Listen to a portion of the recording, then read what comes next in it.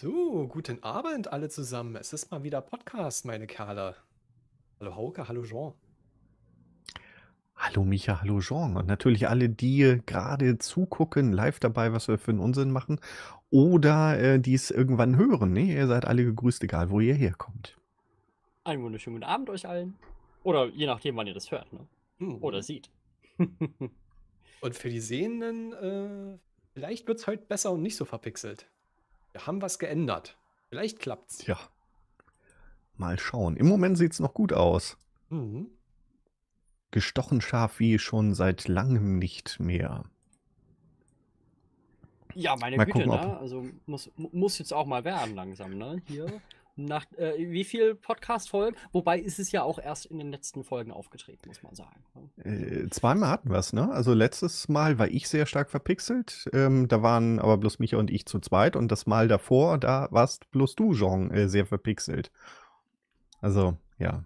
Wir haben viele Theorien, woran es gelegen haben könnte, aber Also ein bisschen Ja. gepixelt bin ich immer noch, ne? Ja, Du bist also ich immer- sehe auch wieder richtig schlimm aus heute. Heute sehe ich wieder richtig schlimm aus. Nein! Ich weiß nicht, woran es liegt, weil ich, ich bin gestochen scharf, ne? Aber ähm, bei euch kommt das nicht so an. Es tut mir sehr leid. Naja, aber dafür hört ihr mich in HD. äh, hoffe ich. d- de, den einen Zauberparameter, den ich da noch rausgefunden habe, vielleicht einmal live anpassen, vielleicht klappt das. Ich hab, äh, also, äh, der, der, der Micha oder ich? Ne? Nee, das, das Äh, muss ich ja machen. Äh, äh, Ah. Genau. Also, äh, wo, wo wir vielleicht gleich ins Thema einsteigen, äh, Dinge, die wir gemacht haben. Also, ich habe heute so ein VDO äh, Ninja aufgesetzt. Das ist diese Software, über die wir das machen. Das ist mehr oder weniger so eine Webkonferenzsoftware, wo man seine Webcam freigibt und natürlich auch Ton freigibt. Und man kann, wenn man es will, auch noch irgendwie einen Bildschirm freigeben. Und das lässt sich hinterher relativ einfach in OBS, das ist diese Video-Streaming-Software, die wir verwenden, einbinden. Und ähm, da gibt es diverse Parameter, die man angeben kann. Unter anderem auch so ein Parameter, so dass derjenige, der es in OBS einbindet, festgibt, welche Bitrate er gerne haben möchte. Und meine ähm, ähm, ähm, äh, Theorie ist, dass da so ein Autoalgorithmus drin ist, der meint, naja, so viel Bitrate brauchen wir jetzt gar nicht und darum sieht Jean jetzt so pix- pixelig aus. Wa- Was steht bei dir äh, rechts oben, Jean, äh, bei der Bitrate, die du sendest? Bei mir steht witzigerweise auch nur 820. ne? Also an dem Okay. grünen Ding. Wobei du mich in der Genau. Vorschau ja wahrscheinlich scharf siehst, oder? Siehst du mich scharf hier, in, in, wo wir uns sehen beide? Ja, das sieht gut aus. Na, sieht gut aus. Ne? Also, aber bei mir steht auch nur 850 raus. Also, ich schaue mal, ob es an mir liegt, aber, na, meine Nee. Güte, ne? Ja, ja, ja, ja. Aber wenn wir nicht live sind, Ja. dann hatte ich 4 4,2 MB. Aber meine Güte, ne, so ist das. weiß. Ne? Ähm, immer wenn wir live streamen, Schlechte dann Leitung. ist die, ist die Leitung schlecht. Ist, äh, ist Ja. schon schwierig, ne? Naja. Ja, ich Ja, gut. weiß auch nicht. Möchtest du mir mal den Zauberparameter irgendwo rüberschicken? Ähm, den, ja, ja, ja. Bin jetzt nicht so in der Materie drin. Hm, Mhm. Bin ich auch nicht, aber dafür habe ich hier so ein wunderbares Schriftstück. Ja, der Mit- Fonsis Web schreibt, verpixelt sein, das Gefühl kenne ich, besonders morgens beim Aufstehen. Das stimmt in der Tat. Ja, besonders am Sonntagmorgen oder sowas ist dieses verpixelt sein schon auch echt manchmal da. Ja, das stimmt, das stimmt. Ja, ja. Da fühlst du dich einfach kantig. Richtig kantig hat man wieder viel zu viel hier in Richtung Minecraft geschaut. Ne? Genau, ja. So ist das. Ja. Hat mich ja genug Upload-Rate. Ja, daran liegt es nicht. Ne? Daran liegt es auf jeden Fall nicht. Ähm, Jetzt sehen wir alle gut, scharf aus. Das finde ich gut. Jetzt sind wir alle Einige haben scharf, eine sehr schöne. Frisur, andere eher nicht. Naja, also ich habe heute Blöcke, äh, Blöcke genommen hier. Ne? Ja. Das ist ähm, einfach. Ist schöner an sich. Ja, genau. Jean heute ohne Rendering. Hm. Ja, ja. Bei mir ist das Rendering heute ausgelassen. Ja, irgendwie ist das Hardware-Rendering bei dir ausgefallen. Ja, meine Güte. Man kennt's. Man kennt's. Ach, das macht ja nicht der dumm. Oh,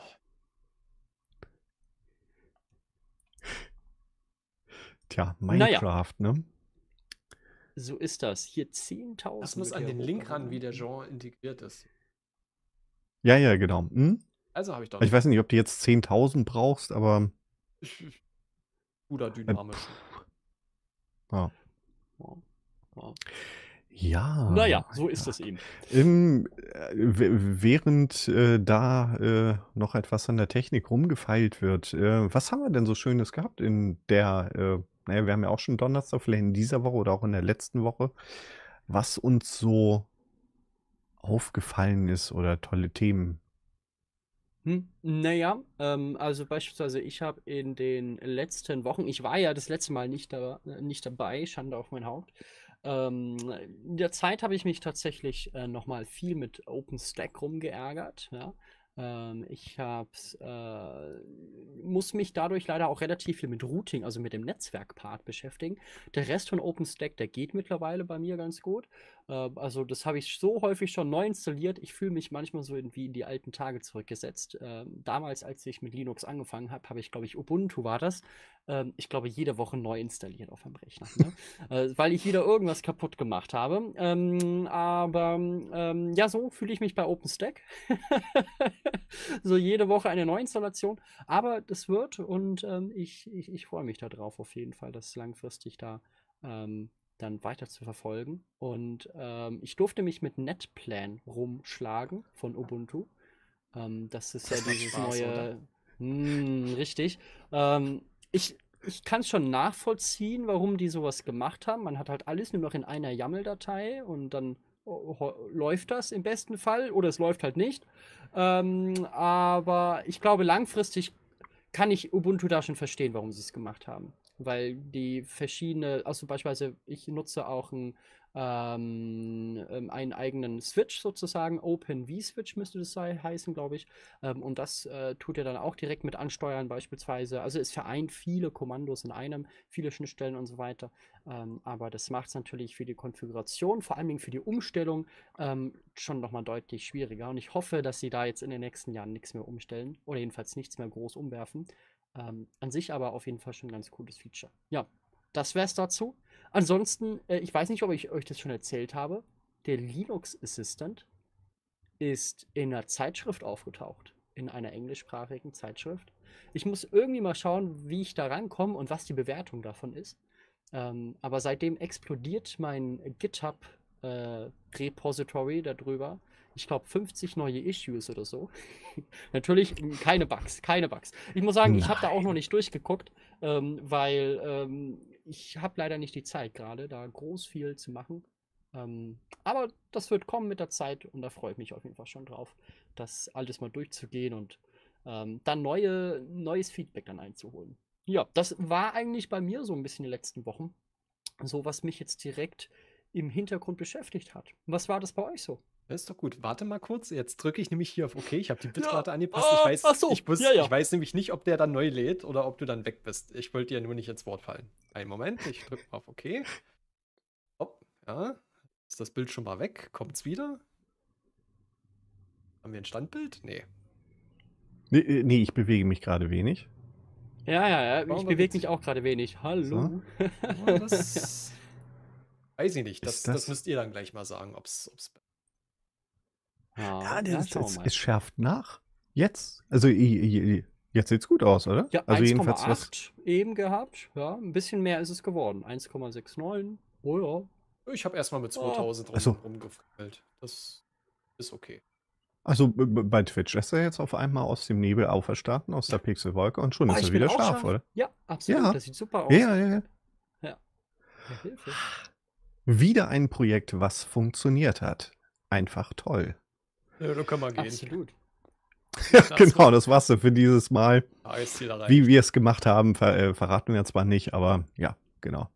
Live, scharf und in Farbe. Was will man denn mehr? Äh, Farbe kann ich richten. Ich kann Monochromfilter.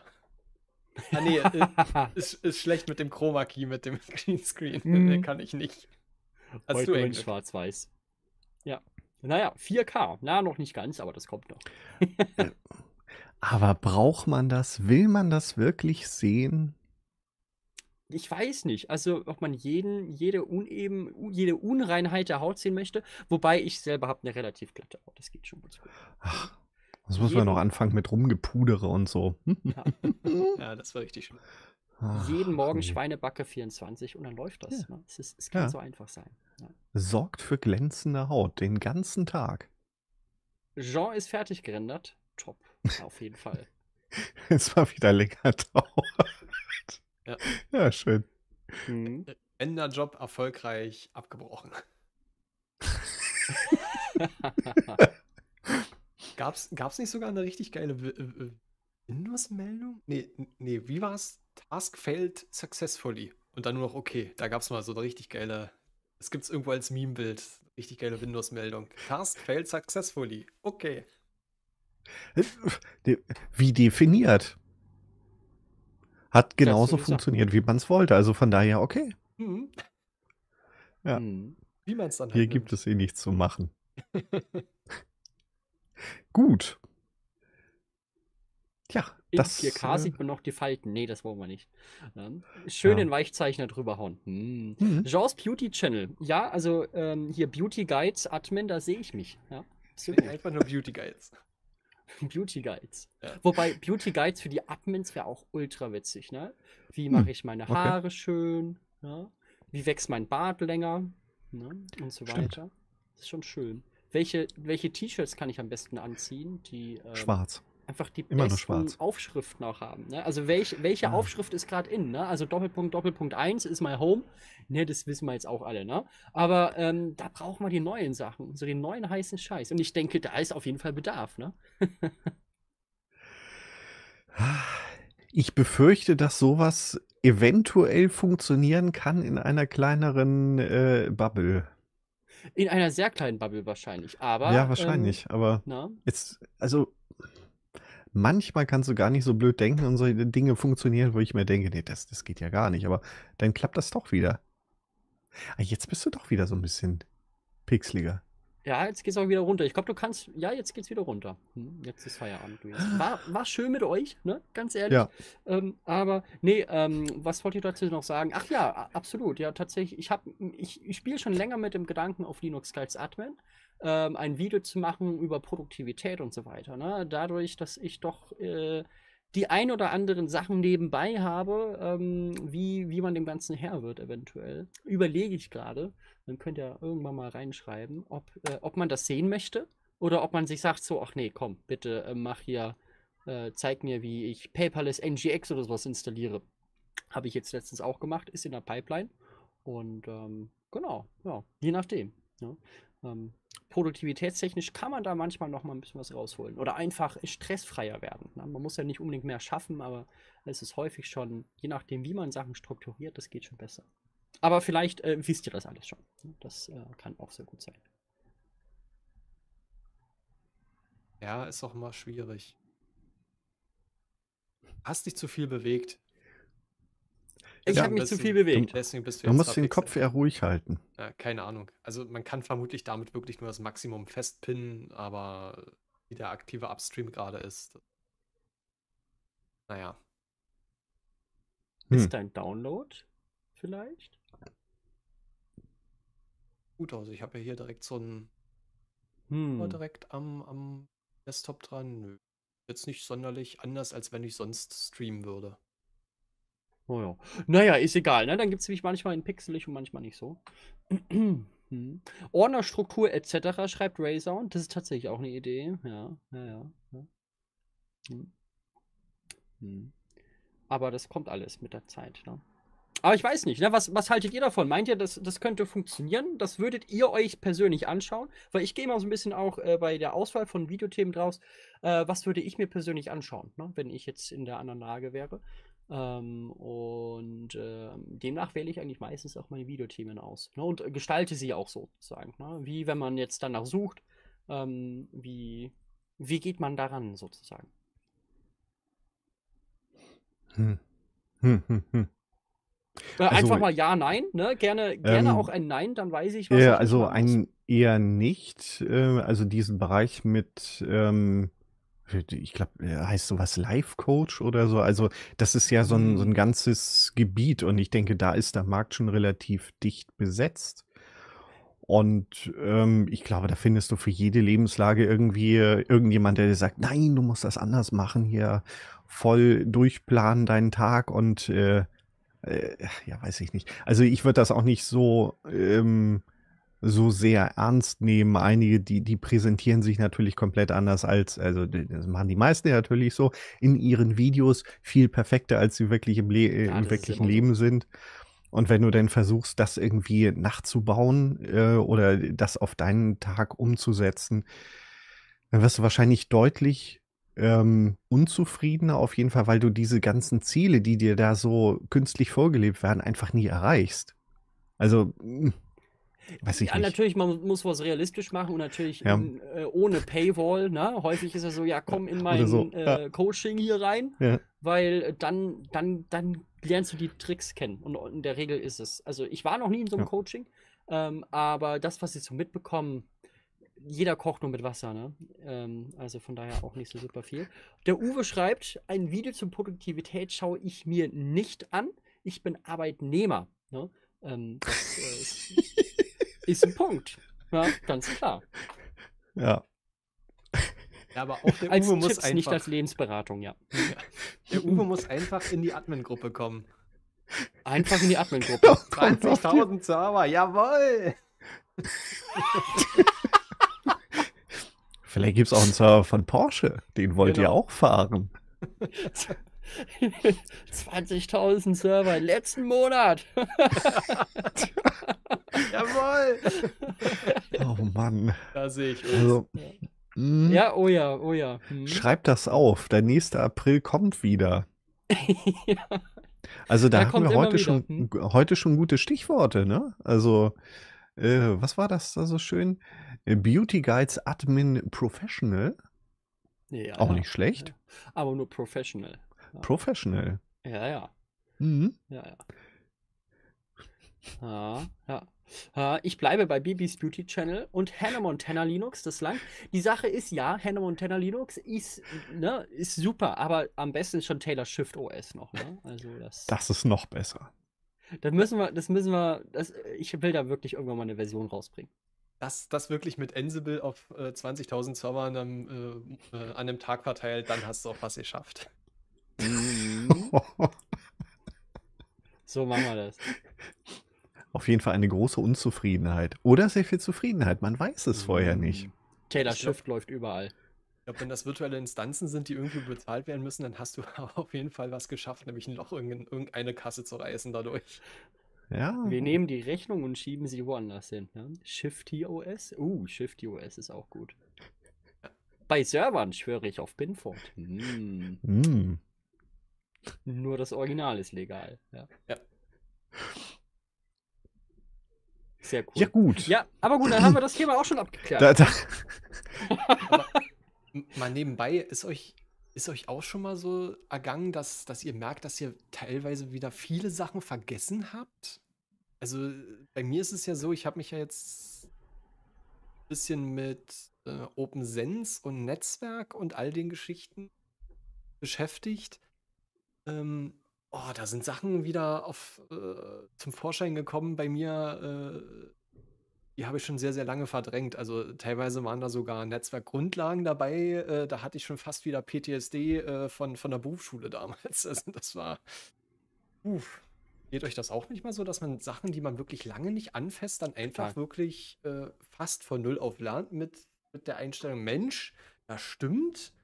Da war ja mal was. Also wenn ich mir jetzt wieder Netplan angucken müsste, ich muss ja auch sagen, um, um wieder die Brücke da zum Netplan zu schlagen oder vom Netplan einfach mal aufzunehmen. Ich bin ja nicht umsonst hier im Homelab auf Debian gewechselt, eben weil mir Netplan noch nicht abgehangen genug war, sagen wir es mal so. Da waren einfach Sachen, die sind echt, ähm, ja, unnötig und ungünstig gewesen und gerade auch durch YAML, ähm, wenn man sich verschreibt, was man eigentlich ja nicht machen sollte, aber es kommt ja durchaus doch mal vor, kriegt man irgendeinen wilden Fehler, Netzwerk kommt nicht hoch, finde ich doof. Deswegen bin ich wieder äh, zu Debian und damit zu if up, if down gewechselt. Wenn ich mir jetzt wieder Netplan angucken müsste, wäre das ja fast auch wieder von vorne, nur würde ich vermutlich äh, etwas einfacher durch die Doku durch. Wenn, keine Ahnung. Aber geht's euch mit anderen Sachen genauso? Total, würde ich sagen. Bei mir ist es sogar manchmal so, dass ich äh, manche Sachen das letzte Mal besser hinbekommen habe als äh, dann zu diesem Zeitpunkt, weil ich mir gedacht habe, ach, so war das ja, so war das ja, ach nee, so war es doch nicht. Wie wenn man da komplett ähm, unbefangen manchmal reingeht. Jedenfalls war das bei, mir auch manchmal so. Und ja, also man lernt, man muss immer wieder Sachen neu lernen, finde ich. Ähm, und ähm, ja, aber da will ich erstmal Hauke ausreden lassen vielleicht, weil Sonst hätte ich schon wieder eine Brücke woanders hingeschlagen. Das ist so schlimm. Ah, also ich, ich würde jetzt einfach sagen, ja klar, äh, geht mir genauso. Also oftmals sind es so Stichworte, die irgendwie hängen geblieben sind. Ähm, das kann auch sehr lange her sein, dass ich da irgendwie mal über was gestolpert bin und das ist als Stichwort hängen geblieben und äh, da, das kann ich dann relativ schnell wieder nachgucken. Und dann äh, kann ich das relativ schnell auch wieder so erstmal grob überblicken und dann äh, mich da so ein bisschen einarbeiten. Ähm, aufgefallen ist mir das, als ich vor ein paar Wochen so ein Video gemacht habe mit ähm, LCD ansteuern, also so ein richtig spezielles LCD, was ähm, äh, Zeichen darstellen kann, also nicht Grafik, sondern ähm, vordefinierte Zeichen, die in diesem D äh, Display drin sind. Das Ganze mit dem Raspberry Pi angesteuert habe. Und ähm, da gehören auch so ein paar Grundlagen Elektrotechnik mit dazu. Ich habe das vor ewigen Zeit mal so ein bisschen studiert. Ich habe mich zwar auf einen anderen Zweig spezialisiert, aber äh, das, das kam schon mal irgendwie vor.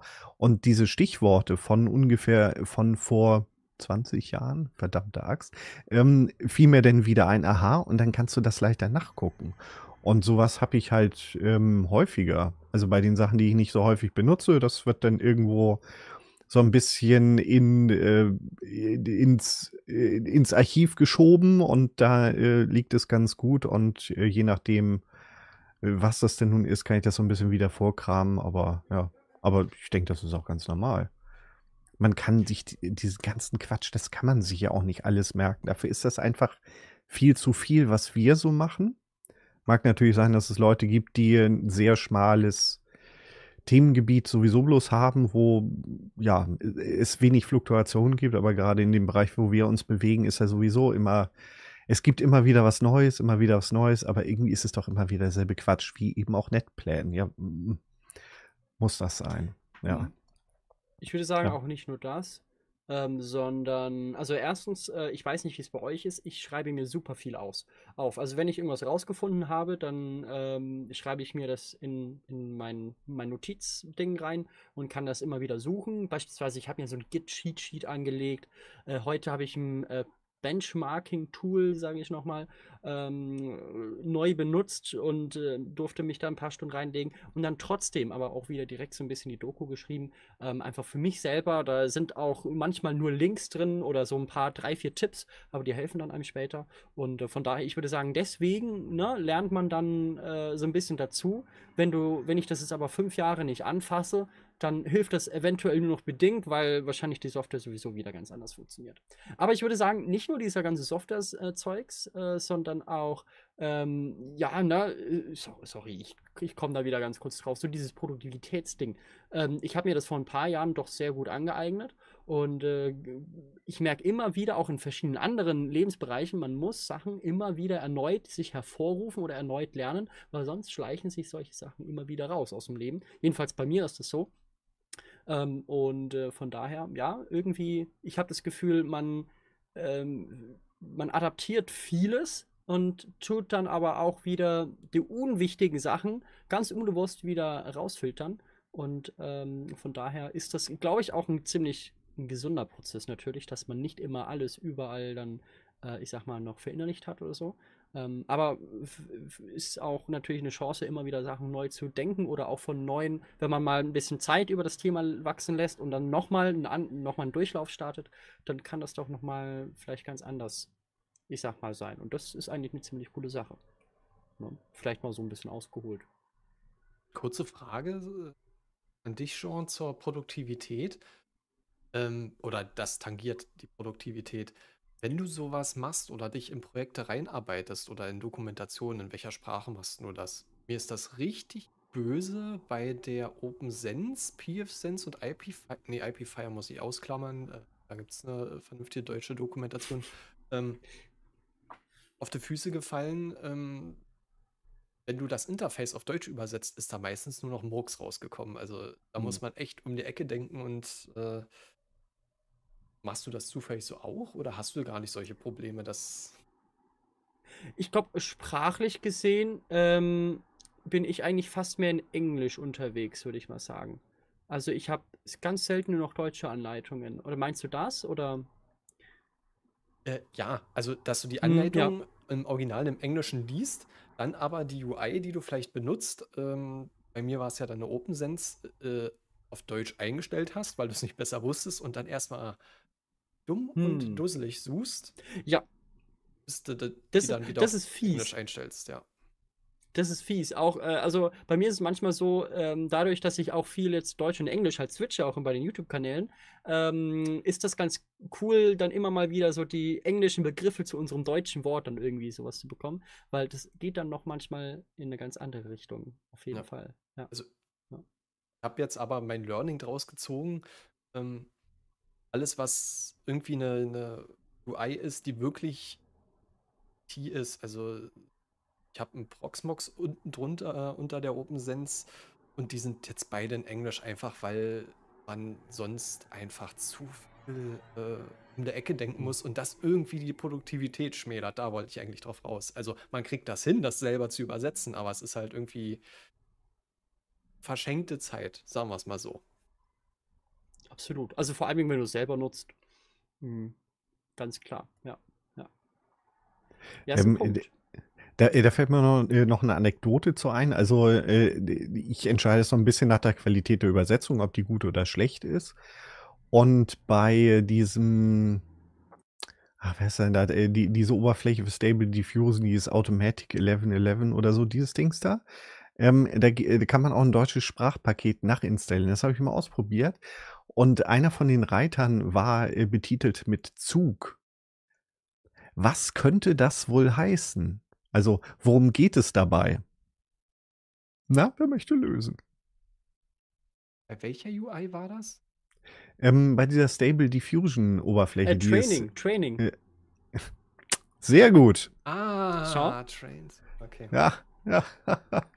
Also ich, ich, ich, ich, ich habe da überlegt, Zug, Ich zug jetzt mal. Zug. Also äh, das ist natürlich das Problem, wenn das Leute übersetzen, die die Oberfläche wahrscheinlich oder nicht gesehen haben oder mit, mit dem nichts anfangen können. Die haben halt das erste genommen. Train, guckst ins Wörterbuch rein, ist wahrscheinlich bei vielen Wörterbüchern die erste Übersetzung, die dir angeboten wird. Zug. Ganz ehrlich, ich glaube, das war auch die KI oder irgendwas automatisiertes. Oder, äh, Also, weil so blöd, ja. also auch ein Übersetzer checkt doch bei einer KI-Anwendung, dass Train ja in den seltensten Fall dann eher Zug heißt, ne? Aber ja, klar. Ja. Ja. Ja. Ja, Sachen gibt's. Ja. Ja. Eisenbahn oder Zugkraft? Ja, ist die Frage. Ja. Ähm, ähm, ja. Ja, die, ja, also äh, irgendwie habe ich versucht, da so, so, äh, was könnte, also was, äh, das könnte ja auch irgendwie wiederum was sein, was da äh, zugehört, wo irgendwie ein Zug von äh, Daten vorbereitet wird, irgendwie sowas so wie eine Reihe oder was weiß ich, keine Ahnung. Vielleicht ergibt das ja irgendwie einen tieferen Sinn. Aber nein, es äh, war einfach bloß, ja, nö. Ja, Passiert. ähm, Aber ähm, eins wollte ich noch dazu sagen zu dem ganzen äh, Thema mit hier vielleicht auch äh, Dokumentation oder Lernen oder Herausfinden. Ähm, was mir aufgefallen ist, gut, ich weiß nicht, wie euch das geht, äh, je nachdem, wie groß man in einer Domain schon ähm, in, in einem Wissensspektrum oder in einem gewissen Bereich sich schon auskennt, war es bei mir schon früher, dass ich häufig schon auf YouTube irgendwelche Sachen gesucht habe und mittlerweile ähm, mache ich da eigentlich selber super, super wenig oder lerne ich selber super wenig über YouTube. Manchmal schon auch so über dieses ganze Netzwerkzeug, so um so einen Überblick zu bekommen. Ist ganz cool. Ähm, aber ansonsten nur noch die Dokumentationen. Also vor allem Dingen jetzt in dem Server-Administrationsbereich an sich. Ähm, da ja, ne, helfen dann nur noch Dokumentation und Stack Overflow. Und ich muss sagen, ähm, äh, die KI wird ja jeder von euch auch schon mal ein bisschen ausprobiert haben. Ähm, vor allem bei diesen Admin-Sachen spuckt die bei mir 70% Müll raus. Einfach irgendwelche veralteten Sachen oder irgendwie, also das wird, funktioniert nicht. Gut, liegt auch vielleicht daran, dass ich die KI nur bei schwereren Themen oder bei anderen Themen frage, äh, die vielleicht nicht so häufig gestellt werden. Ähm, und also da spuckt mir die KI irgendeinen Müll raus. Vielleicht bei ganz, ganz simplen Sachen funktioniert das. Die findest du aber auch in einer Sekunde Google-Suche. Und ähm, ich weiß nicht, so super nützlich ist sie gar nicht in der Administration. Ist jedenfalls mein Gefühl. Ich weiß nicht, wie, wie euch das so geht. Oder ob ihr da dieselben Gedanken habt. Ähm, ich probiere sowas hin und wieder ja auch mal. Also Find äh, mit phind.com probiere ich manchmal aus. Ähm, ist Glückssache. Bei einigen Themen kommt was Gutes raus, bei anderen eher weniger. Boah. Also kommt drauf an. Ja, okay, gut. Also ich muss sagen, bei mir kommt fast immer nur noch Müll raus. Das ist schade eigentlich. Ja. Aber, also wo sie hilft, ist bei Bash-Skripten oder sowas. Ne? Das Hm. mache ich schon häufig. Aber, ja, genau. Ich bin, glaube ich, auch einfach nur viel zu faul, mir den Bash-Syntax anzueignen. Also so die, speziell, die speziellen Sachen. Ja, was meinst du? Da habe ich es auch das einzigste Mal bis jetzt benutzt. Also so als Kickstart für, für ein Bash-Skript. Ja, Erfahrung habe ich damit nicht. Also ich, komme noch ganz gut ohne KI klar, sagen wir es mal so. Ja, äh, ich muss sagen, ist so ein richtiger Hype gewesen. Und ich denke, ne, der Hype ist jetzt ein bisschen vorbei langsam. Ähm, sehen wir auch an hier Arch Intelligence. Wann kommt die eigentlich? Das ist eine, das ist eine gute Frage, ne? AI. Ich weiß nicht, ob ihr das mitbekommen habt mit der WWDC. Ne, diese Woche, glaube ich, war das.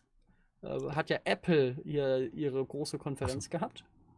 Und äh, hauptsächlich gab es Apple nichts. Intelligence. AI, Apple Intelligence. Eigentlich gar nicht so blöd, bin ich ehrlich. Ah, okay. Ähm, aber ja, die, die, die Mischung macht Doku, YouTube und KI. Ist eine Frage, ja. Also so, wofür Hm. ich die KI nutze, ist so für solche allgemeinen Themen, mir mal kurz Sachen einordnen zu lassen. Das kann sie meistens ganz gut, würde ich sagen. Ne? Aber so ganz spezielle Fragen, manchmal schwierig. Ähm, so, jetzt habe ich den Faden verloren. Das ist immer gut, wenn drei Gedanken gleichzeitig reinkommen. Ich glaube, wir waren auch fertig damit, oder? Denke mal. Ja, ansonsten äh, WWDC, äh, vielleicht ganz kurz, habt ihr das mitverfolgt? Ich habe ganz WWDC. grob so ein bisschen die Zusammenfassung bekommen. Das ist die, äh, vor allem die Developer-Konferenz für Apple, was sich eigentlich so ein bisschen auch als, ja, so ein bisschen Marketing-Instrument rausgestellt hat. Und für die Aktienanleger ist das eine ganz, ganz gute Sache. Ah, Ja, Apple Ja. Intelligence. Da ist ja schon ein Widerspruch in sich. Ist, ist ein Punkt. Ist ein Punkt. Ja. Aber tatsächlich, denen fällt auch nichts mehr eingefühlt. Also sie haben überall neue coole Features, so eins, zwei Stück, und das war es tatsächlich. Also, und äh, iOS bekommt gefühltes Android-Update. Du kannst jetzt deine Icons selber irgendwo hinziehen, tatsächlich. Das ging zuvor nicht. Boah. Ähm, ja, äh, oder nochmal, oder deinen Startbildschirm individualisieren. Das ging wohl auch zuvor nur bedingt. Ja, das finde ich auch sehr witzig, dass das jetzt erst kommt. Aber gut. Das ist ja fast, als ob man so nach, nach Jahren das Drag-and-Drop-Feature integriert in seine Anwendung. wow. So ungefähr äh, Wow. fühlt sich das gerade bei Apple an. Schon manchmal. Also ich frage mich so, was, das ging dann nicht.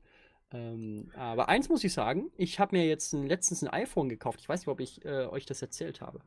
Ähm, oder hier im Podcast auch erzählt habe. Ich habe mir ein iPhone gekauft, ein gebrauchtes, ähm, um die Sachen für den Libre Workspace auszutesten, wie sich das iPhone da rein integriert, weil ich da häufiger schon von verschiedenen Leuten dann die Fragen bekommen habe. Und äh, genau, deswegen ja auch das iPhone-Video letztens. Ähm, und äh, da muss ich sagen, iPhone ist in manchen oder iOS ist in manchen Hinsichten einfach fertiger als Android. Android kann immer noch nicht kein CalDAV oder irgend sowas. Das ist da auch gar nicht vorgesehen. Äh, bei iOS ist es direkt mit drin und für, mit verschiedenen anderen Features auch. Also da muss man schon sagen, Apple schafft ein Gesamtpaket im Gegensatz zu Windows oder Linux oder Android, was einfach direkt schon in gewisser Weise funktioniert, sage ich mal, ohne zusätzliche Module. Bei Linux geht das mittlerweile auch immer besser, ähm, aber ist noch weit entfernt tatsächlich von dem, was der Apple manchmal so fertig aus der Tüte anbietet. Und das muss ich schon sagen, ist eine, ähm, ist schon sehr beeindruckend und ja, auch in gewisser Weise natürlich auch äh, wahrscheinlich Inspirationen für den einen oder anderen, ähm, wenn diese Person Software baut oder so. Es ist doch aber eigentlich auch so ein bisschen auf die Philosophie von Apple äh, zurückzuführen. Das, was die nicht für gut halten oder für, für richtig, gibt es halt nicht. Und da lassen sie sich auch nicht einreden und dann ist es doch wieder so nach Friss oder Stirb. Du bist in einem goldenen Käfig, ne? Dafür ähm, erlaubt halt Apple quasi nichts anderes, außer halt genau das, was sie in Anführungszeichen äh, vorgeben. Und dann war es das. Das stimmt. Also, und ähm, wir brauchen auch gar nicht vom Preis zu sprechen. Ähm, der ist ja in den letzten Jahren eigentlich auch, ja, schon sehr stark gestiegen, würde ich mal sagen, verhältnismäßig. Genau, lässt sich ja auch bezahlen, fürstlich bezahlen für das Konzept, das stimmt. Ja.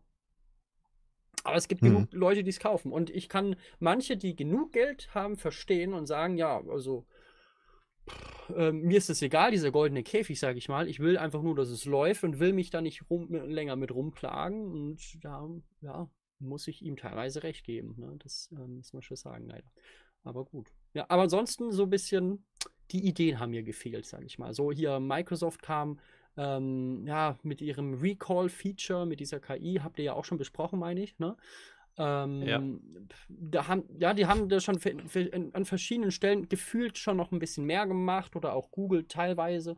Da kam jetzt Apple, fand ich jetzt nicht so stark raus. Aber vielleicht ist es auch einfach nur ein Bias, den man auch selber natürlich in gewisser Weise pflegt. Hm. Äh, willst du da was aufgreifen, Hauke? Weil ansonsten würde ich jetzt. Ähm, äh, zu dem äh, zu dem einen Kommentar, also äh, dass die KI bloß lokal bei Apple auf den Geräten laufen lassen soll. Ähm, äh, äh, das stimmt wohl nicht wirklich. Laut äh, einem ähm, Heise-Artikel ähm, ist es wohl so ein Twitter-Dings. Also die bauen wohl ähm, gerade sehr viel Rechenzentrumskapazität äh, auf, um Teile von diesem KI-Zeugs wiederum im Rechenzentrum bei Apple durchführen zu, äh, also dass es dort gerechnet wird aber ein Teil läuft direkt auf dem Gerät, aber eben nicht alles. Und dieser Artikel, das, das klang irgendwie so, dass der Endnutzer gar nicht so wirklich weiß, was, was da passiert, ob das lokal berechnet wird oder ob das wieder abfließt. Also von daher, hm, ja. Klang, klang für mich jetzt wieder nach sowas, ähm, du weißt schon, warum du das alles nicht haben willst. Ja, Guter Punkt. Ja. Ich, ich finde auch generell, ähm, die Daten, die. Oder du wolltest was sagen, Micha, ne? Sorry, ich hab dich. Ja, ich, ich wollte vorher noch drauf eingehen. Ich glaube, ich habe es weder im Podcast noch erzählt. Nee, ich hatte es nur mal äh, bei mir im Stream äh, erwähnt. Ich war total überrascht bei diesen Recall-Geschichten, dass dann der. Ähm oh Gott, wo war der Albert her? Von welchem YouTube-Channel der bei den Tux-Tagen mit. Ähm Windows Area. Windows Area, danke. Genau.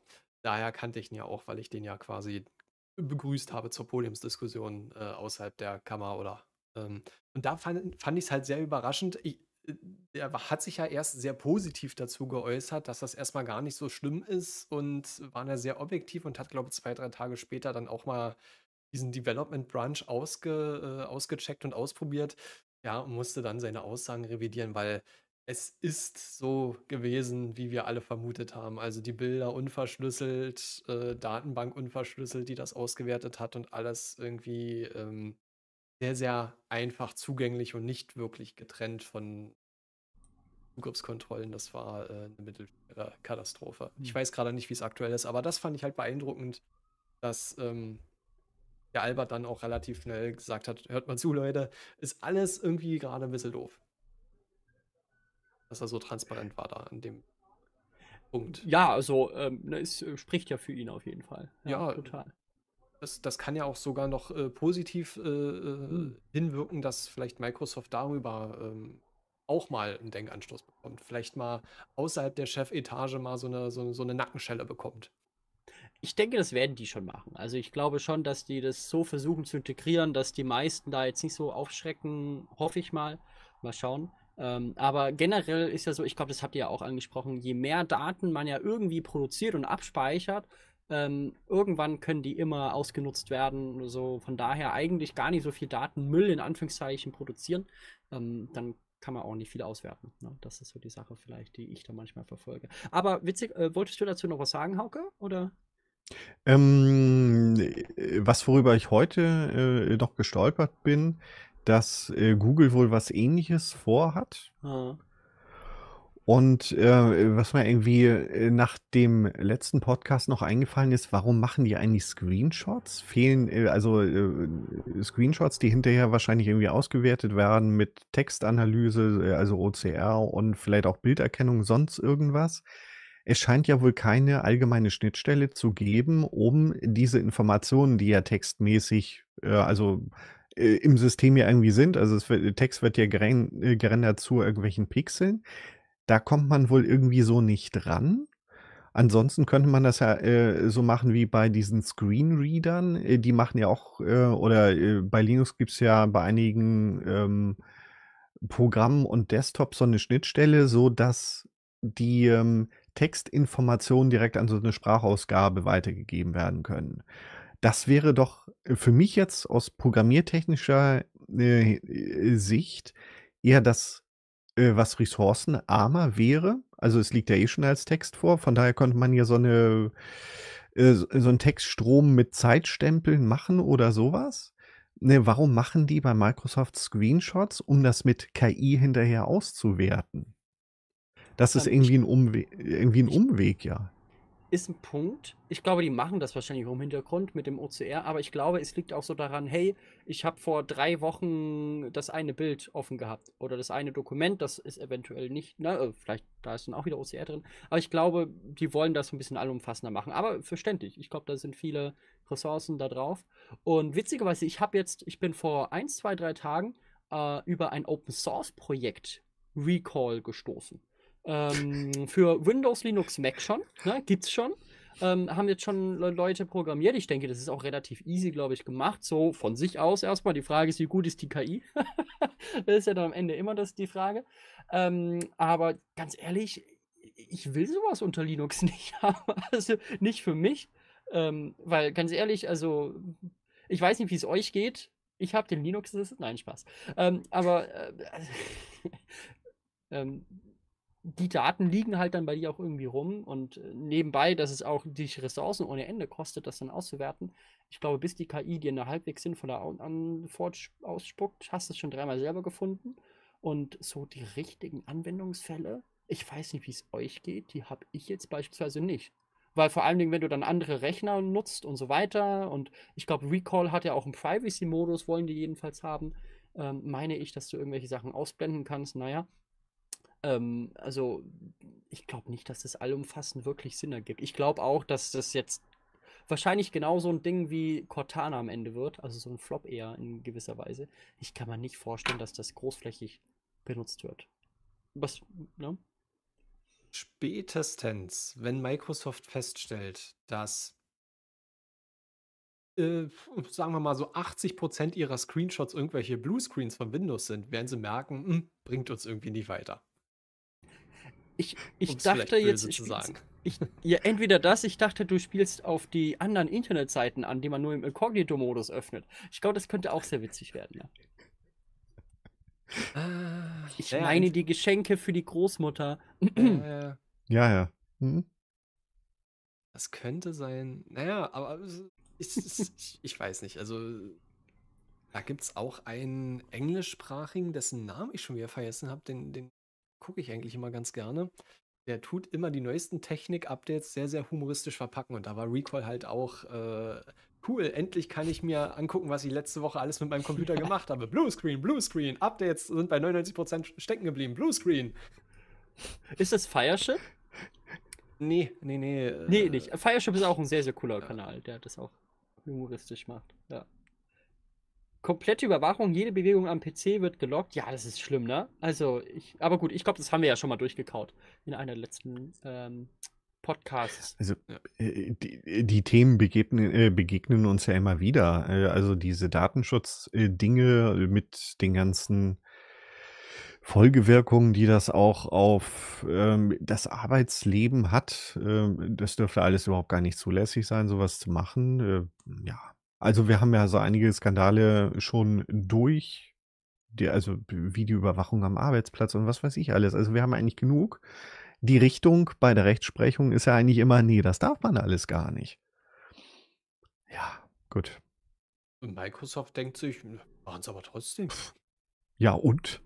Ist ja nur privat für den Nutzer. Ja, aber die Sachen Ja. liegen da und also ich kann mir Ja. auch nicht vorstellen, dass das wirklich, also vor allen Dingen, weil es ja ein großes Medienecho schon gab, ich kann mir nicht vorstellen, dass das wirklich großflächig erfolgreich ist. Ne? Die werden es wahrscheinlich ein paar Mal drin haben, aber ich könnte mir vorstellen, dass die meisten das entweder deaktivieren werden oder ja, auf jeden Fall, ich glaube, nicht, nicht verbessern wird, den Arbeitsalltag.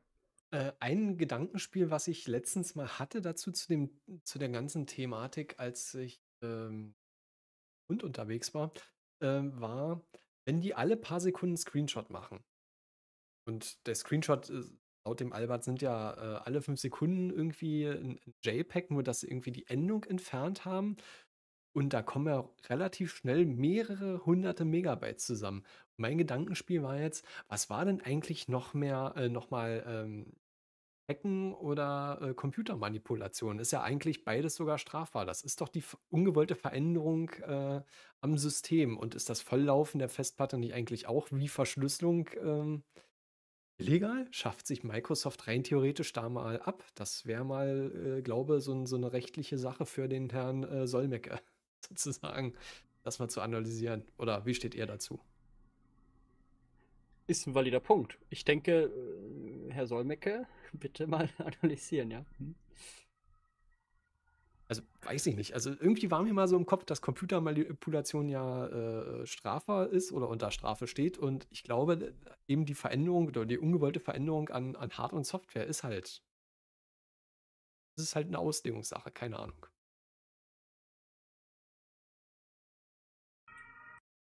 Es gibt ein extra Privacy-Abo im 365-Paket für 5 Euro 14 Tage lang ignorieren der Screenshots. Ja, dann haben sie 14 Tage die, Mm. äh, die Infos einfach 14 Tage später. Also, Ja, nee, nee, nee, ja, nee, dann Verlauf löschen, ne, sowas in die Richtung, ja. Gib mir so. Geld dafür. Ich habe gesehen, was du gemacht hast. okay. Hm. Ja, Privacy im Abo. Hm, naja.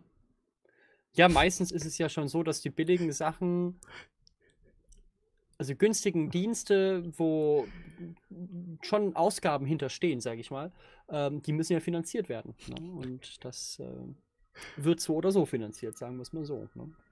Ob du es zahlst oder ob irgendjemand anders dafür zahlt, vielleicht. Mhm. Da wird's interessant. Ach, hier bei Ich hätte- ja. Markus und Ingo äh, schreiben gerade rein. Wie sieht's aus mit der Haltbarkeit der SSD, wenn so viele Schreibvorgänge vorgenommen werden? Gute Frage. Also äh, Recall scheint irgendwie äh, powered by äh, Crucial, Samsung oder äh, bitte hier jetzt anderen SSD-Hersteller äh, einfügen. Hm. Aha. Die wollen wieder was verkaufen, ich verstehe. Hm. Ja. Oder Recall setzt gleich irgendwie ein, ein wildes Raid voraus, wo einfach mal ein paar Platten einfach schon abschmieren können. Das ist schon eingerichtet über, über die Garantiezeit, keine Ahnung. Ja, wäre jetzt auch sehr böse Wie gesprochen, aber Ja, ja, ja. Schwierig. muss, muss man Naja. wirklich mal alles so äh, einbeziehen, wenn, wenn das wirklich so durchkäme, was das eigentlich für ein Quatsch ist. Also das wissen wir jetzt als ähm, äh, Technikaffine, aber wie viele Leute werden das einfach akzeptieren und damit leben und, und sich dann wundern, äh, warum die ganz gezielt Werbung für Gardena, Gartengeräte oder was weiß ich bekommen. Wo sie das niemandem gesagt haben, aber das irgendwie immer im Verlauf zu finden ist vom, von Recall. Keine Ahnung. Also, da wird es dann irgendwann spannend. Beziehungsweise, Ja. wenn es soweit Naja. ist, ist das eigentlich nicht mehr spannend, weil dann ist, ist, ist die Messe gelesen und wir haben andere Probleme. Ich glaube auch. Also ich glaube, das wird gerade groß aufgebauscht und ich glaube nicht, dass. Ich glaube, das wird in der Ver, Ver, äh, Versenkung äh, verschwinden. Langfristig.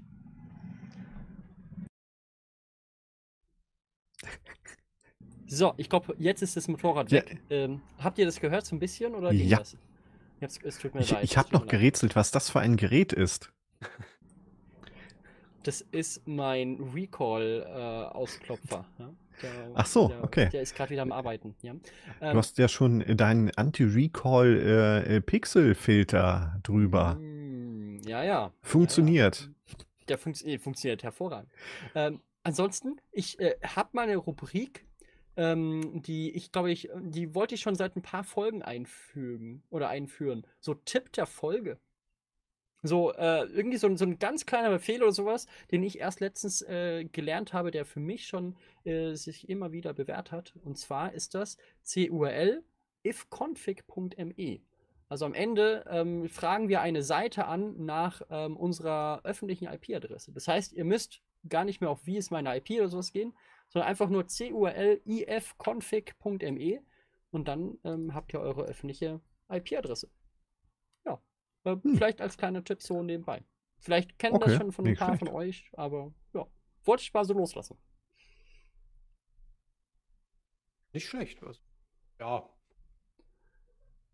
Wie oft braucht man das? Ist jetzt auch also wieder die Frage. Ich brauche das für mein Serverzeugs häufig. Aber natürlich, ähm, na klar, also ich glaube so, ähm, wenn man jetzt hier dreimal am Tag seinen Webbrowser öffnet, ich glaube, dann ist es jetzt nicht so wild. Ja, das stimmt. Hm. Du hast den Inkognito-Modus von Recall an. Ja, ja, genau. Ja, ja, klar. Immer nur im Inkognito-Modus, genau. Ja. Ähm, Allein von der Verteilung her, Micha, hast, hast du irgendwie noch ein äh, spannendes Thema? Äh, also zwei von uns haben ja schon wirklich sehr viel rumgelabert und äh Ja, wann ist es euch das letzte Mal äh, passiert, dass ihr bei solchen äh, kleinen Privatspiele-Projekten ähm, euch ma massiv verschätzt habt?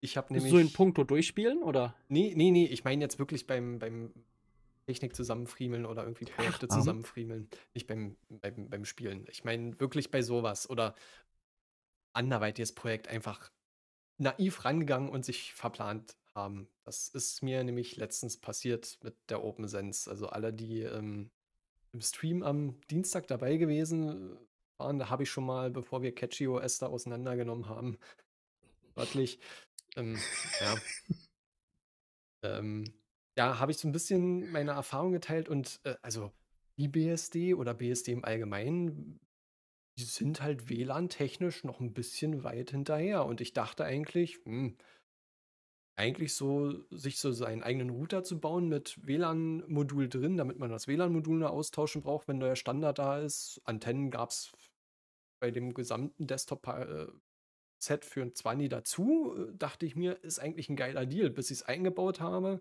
dass die Hardware dann im Proxmox durchgereicht habe und in der OpenSense dann sogar das ähm, Ganze einrichten konnte. Ja, bis zum WLAN-Standard. Da ging es dann nicht höher als N. A, B, N. Also irgendwie noch Wi-Fi 3. Also alles eher so, was man heutzutage nicht mehr haben möchte, weil es zu langsam ist. Und dann ging die große Recherche los. Ähm, ja. FreeBSD weiß das, dass sie noch nicht äh, AC und AX machen, aber wann das kommt, wissen sie auch noch nicht. Also da bin ich dann äh, auf die Schnauze gefallen. Bei dir ist immer noch äh, die Feuerwehr oder die Einsatzkräfte. Das ist heute vorbei. Das ist heute richtig schlimm. Ne? Also, äh, ich habe mich schon gewundert, die erste halbe Stunde, warum es so ruhig ist. Das hat sich alles aufgestaut. Ne? Das verschwärt sich alles. Kommt jetzt alles zusammen. Ja, ich merke. Ist euch sowas schon mal passiert, dass ihr einfach blauäugig an, an, an irgendwas rangegangen seid und ihr dacht, das müsste eigentlich funktionieren und es funktioniert nicht? Ich finde unsere äh, Serie gerade in den Livestreams GTK-App bauen ist äh, genau so ein Beispiel. Also, ich hätte nicht gedacht, dass GTK doch so kacke ist. also, ich komme noch gar nicht mit klar. Ich glaube, du muss, genauso wenig, oder? Da muss ich zugeben, das ist ein Erlebnis. Ja, da muss ich sogar mm. zugeben, dass ich genau die Serie bei euch noch gar nicht verfolgt habe. Großartig. Der, der Rest gucke ich mir immer irgendwo ein bisschen mit an. Aber GTK-App, ja. Du weißt schon wieso. Nee, das nicht, ja, aber. Ja, ein Punkt, ja, ja, klar. Ja. Jetzt habe ich aber auch noch weniger Ambitionen, mir das anzugucken und nachzuholen. Ich glaube, jetzt habt ihr mich verloren. Äh, du musst das ironisch dir angucken. Dann okay. ist es okay. Okay, okay, okay. So einfach geht es mit GTK. Und die hm. Dokumentation ist auch super. Das E in GTK steht für einfach. Hm.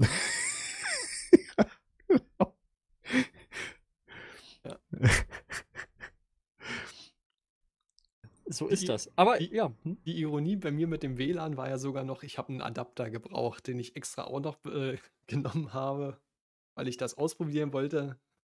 Hab den noch für einen Zehner dazu gekauft und dann festzustellen, ja, es geht. Zur großen Verteidigung von Open äh, äh, OpenSense und PFSense. Ähm, IPFire kann das aber auch noch nicht. Ich glaube, da geht es nur bis zum N-Standard und die können auch noch nicht AC und AX, weil hat ja einen Proxmox unten drunter. Ich ähm, habe ja ein bisschen durchprobiert, so nebenbei heimischen Experimentationslabor hier, aber äh, ja, das war genauso so ein Schuss in den Ofen, sagt man doch so schön. Hm. Ja, ich muss sagen, so mit diesen Router-Sachen ähm, bin ich noch ziemlich unbeschriebenes Blatt mit diesen anderen Routern. Also ich habe äh, schon mal im Support sowas gemacht. Das ging auch halbwegs. Ich glaube, das war OpenSense. Ähm, aber ja, so richtig, so richtig warm geworden bin ich nicht mit. Aber äh, also wofür machst du es? Einfach so zum Spiel und Spaß oder so? Hey, dann hast du den coolen neuen Standard oder endlich die beste Geschwindigkeit für 4K-Videos. Äh, Vielleicht geht dann meine Pixel besser, ne? Wer weiß, ja. Vielleicht kann ich es dann besser analysieren. Ich weiß es noch nicht.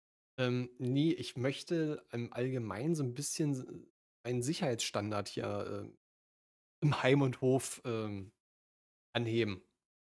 Gerade ja, weil ich auch hier das Homelab habe und Sachen nach draußen hoste. Da hätte ich einfach ganz gerne ein bisschen mehr als nur einen Consumer-Router dazwischen. Deswegen.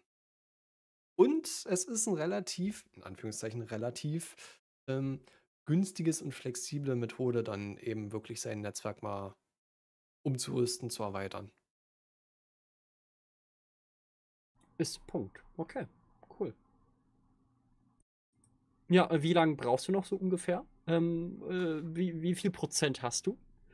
Na, noch nicht viel. Ich bin ja noch im, einer experimentellen Phase. Ich muss da mal gucken, dass ich mir jetzt, dadurch, dass ja eine WLAN-Karte nicht funktioniert, äh, einen Access Point irgendwie besorge. Das wird uns noch ein paar äh, Monde beschäftigen. Also mich. Ist ein Punkt, ja, okay. Ja, Horstix schreibt, äh, PF ist, also PF-Sense ist als Paketfilter schon äh, richtig gut. Da musste ich mit IP-Tables schon schwer hinterher basteln. Ja? Oder das musst du dann. Ist vielleicht ein Punkt.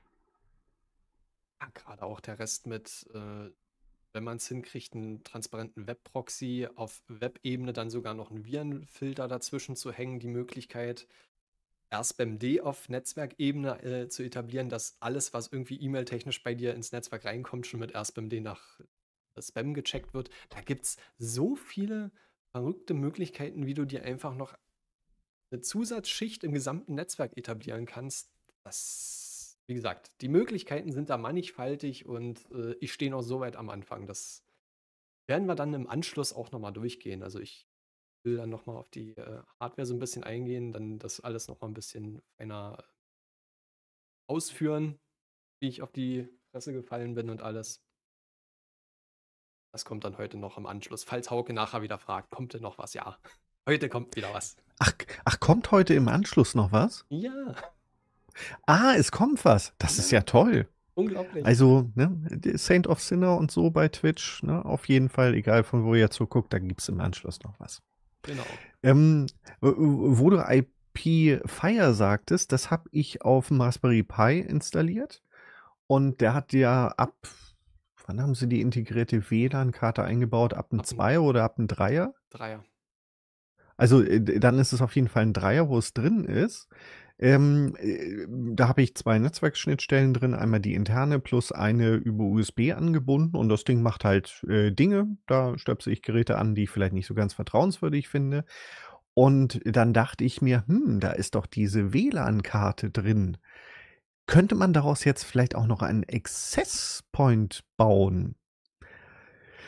Die Antwort ist theoretisch ja, aber ich habe es auch noch nicht hingekriegt. Also ähm, verschiedene äh, Dokumentationen durchgekramt, wie man das machen soll. Äh, genauso gemacht, funktioniert nicht. Irgend, irgendwo Videos geguckt, glaube ich, dazu, äh, auf anderen diversen Seiten und so. Es funktioniert irgendwie nicht. Es, es, das Ding äh, routet nicht. Also weiß ich nicht. Also von daher äh, äh, zum Thema, ne? Also Firewall-Lösung plus es dauert länger, als man denkt. Äh, das ist für mich IP-Fire auf Raspberry Pi. Ja. Man Ja. muss auch dazu sagen, diese Web-UI, diese anbieten, ist also nicht nur, dass diese Netzwerkproblematik eh schon hochkomplex ist, erschwert IP-Fire das Ganze noch mit einer in un unintuitiven User-Interface. Ich habe ich hab damals das auch mal ausprobiert auf dem Raspberry Pi. Da war ich schon nicht besonders begeistert. Man hat sich so durchgeklickt. Dann hatte ich es ja vor kurzem mir nochmal angeguckt, um das mal mit dem WLAN zu vergleichen.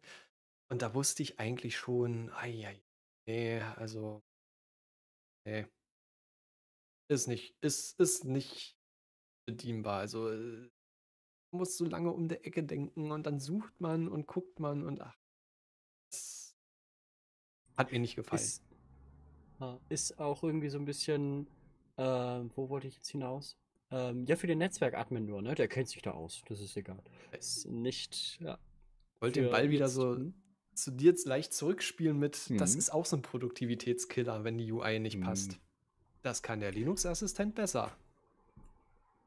Den Fünfer kriegst du später. So, ähm, ja, auf jeden Da Fall. gibt es doch ähm, auch ein Firewall-Modul, oder? Äh, also jedenfalls, du kannst äh, in der Sicherheitsüberprüfung checken, ob die Firewall an ist. Das macht er schon automatisch. Und wenn sie nicht an ist, klickst du auf Beheben und zack, ist sie an. Oder wird installiert und ist an. Na, ja, boah. Ja. Nee, aber ähm, nee, ich wollte gar nicht drauf hinaus. Also äh, hier Richtung IP, Fire und so weiter sind wir schon so ein bisschen. Ich habe letztens mal wieder IPv6 ausprobiert Und? ähm, auf meinem Server. Und ich glaube, ich habe es vor einem Jahr ausprobiert oder vor zwei Jahren, äh, als Hetzner diese extra Preise eingeführt hat. Und die- ich als Sparfuchs, ach, diese 60 Cent pro Monat, Ich wollte gerade sagen, die sparst du dir. 60 Cent, die, die kann ich mir klemmen. ja, genau. Ja, die sparst du dir. Ne? Erstmal, erstmal eine Stunde da wird rumgetan und dann ähm, das dann wieder ja, aktiviert. Und jetzt letztens wieder, weil ich im Zuge zu OpenStack ähm, im Bereich Netzwerk, ähm, nicht, nicht Spreading, sondern hier diese ähm, Basten? Nee, auch nicht. Ähm, wenn, also, wenn du im IPv4-Netzwerk irgendein Paket sendest, äh, tust du das äh, eigentlich überall hinsenden, sozusagen fast, und äh, nur irgendwo kommt es an. Äh, dieses, ich weiß nicht, wie das Wort gerade heißt. Das hast du bei Broadcast? IPv6, Broadcast, ja, nicht Broadcasting. Weiß ich nicht. Ich, ja, vielleicht auch Broadcast. Egal. Aber jedenfalls ähm, habe ich gedacht, ja gut, okay, IPv6 behebt ja diese ganzen Dinge. Also schaust mal, wie weit du mit IPv6 kommst.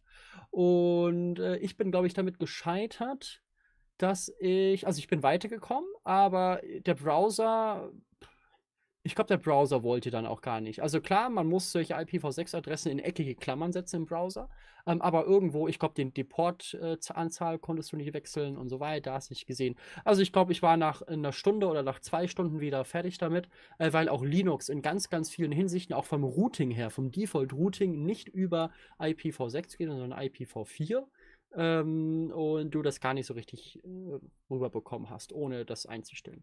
Und nach zwei Stunden habe ich mir gesagt, okay, das dauert wahrscheinlich nochmal zwei Jahre, bis ich es dann wieder ausprobiere. Ähm, ich weiß nicht, wer wirklich IPv6 ernsthaft einsetzt. Ich wüsste keinen. Weiß ich nicht. Vielleicht gibt es jemanden von euch und hat vielleicht 20 Tipps, wie das besser geht. Oder vielleicht nur einen. Also ich, ich sag mal so, ich konfiguriere konfiguriere das immer mit auf den Webserver Ja, genau. und, und Mhm. mache die Domains auch darunter erreichbar. Aber ähm, das nur unter IPv6 erreichbar zu haben, ist kontraproduktiv, weil es immer noch richtig viele Systeme oder Legacy-Systeme gibt, die einfach mit IPv6 immer noch 2024 immer noch nichts anfangen können. Also gerade auch die, diese wilden ähm, von IPv4 ins V6-Netz genattete Provider-Netze gibt es ja auch noch. Also hier aller Vodafone oder, oder wie sie alle heißen. Da kriegt man ja auch mehr Probleme äh, als alles andere, wenn man nur IPv6 hat. Also das ist, das ist alles irgendwie noch ganz schön, äh, ich würde jetzt schon fast wieder sagen Neuland bei uns, aber es ist eigentlich zu traurig, dass es erleidet. Bei so einer Geschichte ist das zum Beispiel. Ja, ja. Oder genau auch so irgendwie, ich glaube, du kannst keine lokalen IPv6-Adressen irgendwie durchrouten oder erreichen oder sowas. Das habe ich auch gehabt letztens. Also halt in diesem Versuch. Also wirklich so ganz, ganz merkwürdige Fehler. Und am Ende würde ich sagen, äh, da schaffen wir ja fast die Migration auf Valent hin besser als die Migration auf IPv6. Also ähm, schlimm, sehr schlimm. Aber gut, was willst du machen? Ich hoffe, das äh, bessert sich mit der Zeit. Ähm, und immer mehr Bibliotheken unterstützen das und unterstützen das gescheit. Aber aktuell, äh, also ist es absolut, also fast unbrauchbar, bin ich ehrlich. Also klar, ich glaube, du kriegst mit ganz, ganz viel Spucke noch so ein bisschen was hin, aber da hast du keinen Spaß mit.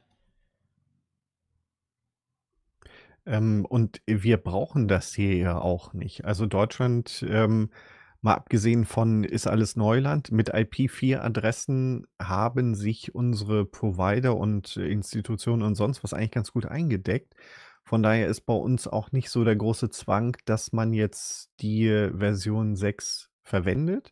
In anderen Ländern sieht es anders aus. Also ich meine, ich habe irgendwann mal gelesen, dass gerade der asiatische Raum nicht viele von diesen IPv4-Versionen gekriegt hat. Und äh, da es da sehr viele Menschen, sehr viele Geräte gibt, brauchen die halt I, äh, also IPv6. Sonst äh, geht das eben nicht. Und da scheint das wohl ja auch zu funktionieren. Ja, bei uns braucht man nicht. Ist halt auch wiederum Neuland. Wollen wir nicht, nicht, also wir brauchen es halt nicht. Ne? Und von daher, hm. Ja. Der Horstix schreibt, äh, schreibt sogar, ist von 2006 oder so. Ich glaube, das ist sogar noch vor den 2000ern. IPv 6. Das ist sogar noch älter als ähm, gedacht. Das gibt schon relativ lange, ja. Ja, ja es ist schlimm. Naja, aber gut, das äh, ist auch nochmal so ein Punkt. Ja, ähm, ich muss sagen, auch äh, in den allermeisten Fällen brauchen wir es selber gar nicht, sondern wir kommen mit dem IPv4 eigentlich zurecht. Und durch das Nat Genattete schafft man ja, glaube ich, auch nochmal unglaublich viel. Ähm, und äh, aber ja, irgendwann werden die öffentlichen IPv4-Adressen ausgehen. Ne? Und äh, irgendwie, ähm, ich bin mal gespannt, äh, wie das weiter auch mit dem Servermarkt geht, wann dann dann wirklich ähm, noch viel, viel mehr vielleicht für IPv4-Adressen zahlen möchte oder sowas. Und ich denke, erst dadurch wird bei uns jedenfalls jetzt hier dann erst dieser Umstieg nach und nach erzwungen, sag ich mal. Ähm, naja. So ist es eben. Da gab es schon bei Windows 2000 Professional. Mm. Im Wikipedia sagt, 1998 wurde es spezifiziert. Ja. Mhm. Ja. Also seit knapp, nee, nicht knapp 30 Jahren. Also hm. Nö, nö das noch nicht. Etwas da war aber Ubuntu die, noch nicht mal da. Ja. Und es das, gab schon IPv6. Sorry. Das Vierteljahrhundert haben wir aber schon geschafft. Ja. Mhm. Schlimm. Naja, so ist es. Benutze es, also ich, ich konfiguriere es einfach mit, um, damit es eben nicht in Vergessenheit gerät. Und ja, irgendwann, es ist ein wenig traurig, aber wir müssen halt auf den, den Rest der Infrastruktur in, unseren, in unserer Datenautobahn oder wie es auch immer beschrieben äh, warten. IPv6 ist halt die Zukunft seit 1990. Es ist sehr schön beschrieben, ja. Die Zukunft aus den 90ern, wer kennt's nicht? Auf jeden Fall. Zurück in die Zukunft oder so, ne? Das war, wann kam der? In den 80ern? Der Film oder 90? 80er, glaube ich, war ah, das, ne? Es gab ja drei. 2015 sind die äh, hingereist, das heißt 285 ich guck kurz bei Ja, genau. Ich glaube, äh, nee, 285, 1985. äh, das müsste, ich glaube, der eine, wo die 30 Jahre in die Zukunft reisen. Das war 2015. Da war ja dieser äh, Back to the Future Day, ne, wo halt genau dieses Datum aus dem Film war. Ne, wo wir schon okay. die äh, hier die äh, Nuklearreaktoren oder sowas in jedem Auto hatten, ne? Die Hoverboards, ne? ganz ja. klar. Hm. Also das Einzige, was wir hatten. Das, was er bei mir ja. rausgezogen hat übers Jellyfin, ist zweimal 1998, 1 und 2 und der dritte dann 19. Achten. Okay, okay, gut. Aber wie gesagt, das Okay. könnte eine leichte Unschärfe sein. Naja, das passt schon. Aber es müsste so ja, hinhauen. gut. Du willst ja heute noch was schaffen, habe ich gehört, oder? Ja, so spät ist es ja. Äh. Wird sonst sowas werden? Äh, nö, nö, nö, nö, nö, nö. Ja. Äh, Nee, aber was haben wir denn noch?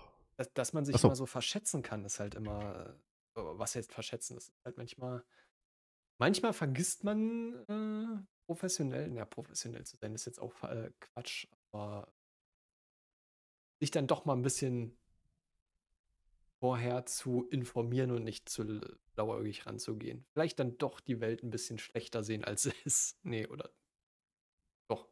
Die, schlech die Welt schlechter darstellen lassen, als sie ist. So rum. Ist vielleicht immer einfacher, als dann zu merken, Mensch, das ist ja jetzt enttäuschend, dass das nicht geht. Oder dass man sich halt so verschätzt hat. Vielleicht. Ja, hat mich ein bisschen enttäuscht, dass das mit dem WLAN so ein, so ein dummes Learning war. sind halt 30 Euro, die ich irgendwann mal umverteilen muss. Keine Ahnung. Oh ja. Hm. Das ist schon schlimm manchmal, Ja, gut, was ist man dann doch so verliert dadurch. jetzt auch nicht die Welten, aber äh, wie sagt man so schön, das ist halt Lehrgeld. Also ich weiß, äh, FreeBSD und WLAN, lass mal lieber sein. Naja. Äh, man wird ja, man lernt nie aus, das ist das Schöne. Und in äh, fünf Jahren machen wir alle den gleichen Fehler nochmal. Nur dann eben mit äh, IPv6. Hoffentlich. Ja, man weiß es nicht. Ich bin gespannt, aber ich glaube, das mit IPv4 ändert sich auch die nächsten, oder IPv6 ändert sich die nächsten zehn Jahre auch nicht sonderlich. Also ich sehe keine Anstrengung irgendwo, dass sich da irgendwas groß jetzt bewegt. Von daher. Nötigkeit nicht da ist, ist das echt ähm, ja, ernüchternd. Nennen wir es so. Sehen, sehen wir auch so ein bisschen bei äh, Wayland in gewisser Weise. Ne? Also es geht ja wirklich schleppend voran. Ähm, wobei jetzt ein bisschen uns die Pistole ja auf die Brust gesetzt wird durch Gnome, glaube ich. Oder ne? ich weiß nicht, ähm, woher jetzt das kommt, dass wir kein Wayland mehr haben. Äh, kein, kein Xorg mehr haben, ab 2026, glaube ich, in Ubuntu oder sowas. Ne? Hm, Nee, war das Ähm, nicht Fedora mit aber- KDE? Also Fedora mit KDE ist da schon durch, genau. Ich denke auch Fedora mit GNOME wird das in den nächsten zwei Versionen wahrscheinlich machen. Aber Ubuntu wird ja auch Wayland beispielsweise, also Xorg rausschmeißen, ich glaube 2026, sodass Mint 23 auch nur noch Wayland haben wird. Ähm, da ist tatsächlich auch gerade eine sehr, sehr spannende Diskussion ähm, bezüglich, äh, welches Fenster-Framework nimmt Mint langfristig, weil beispielsweise GTK 4 ähm, schimpft der Clément Leprefait auch sehr, sehr rum, also der Hauptentwickler von äh, Linux Mint. Und ähm, genau, eigentlich wollen sie das nicht verwenden und bleiben noch so lange auf GTK 3, das gefällt ihnen sehr gut, ne? ist, ähm, ähm, ja, aber langfristig sucht er da vielleicht auch nochmal eine andere Sache. GTK 4 will er eigentlich nicht. Also vor allem, Dingen, ähm, wenn du siehst, ähm, was die halt immer wieder rausschmeißen, die ganzen Themen und so weiter, äh, werden nicht mehr unterstützt. Und darauf hat er, äh, ich glaube, er hat es nicht so ausgedrückt, aber am Ende kommt so rüber, er hat einfach keinen Bock drauf. Ne? Also das kann ich auch nachvollziehen. Von daher bin ich mal gespannt, was da kommt. sind halt auch noch massive Kinderkrankheiten drin. Leider Gottes. Ähm, Was gibt's denn sonst noch für große Alternativen? Also Qt gibt's natürlich noch und dieses TK, was uns da während des Livestreams zu GTK vorgeschlagen wurde. Warum nehmt ihr nicht das? Und FLTK fällt mir noch ein, aber äh, gibt's noch irgendwie was, was ein sinnvoller Ersatz wäre? Ich glaube, dann kannst du direkt zu TK Inter. Nein, Spaß. TK Inter ist ja dieses Ding von Python. Äh, das kann aber nicht so super viel. Und ansonsten direkt zur IMGUI vielleicht oder OpenGL oder sowas gehen. Ne? Ähm, Hm. IMGUI ist, ich weiß nicht, kennt ihr IMGUI? Das Nee, ist die C++-Bibliothek für UIs. Das verwenden äh, fast alle großen Game Engines und so weiter. Oder ich könnte mir vorstellen, dass da auch Teile von IMGUI in GTK und so weiter stecken.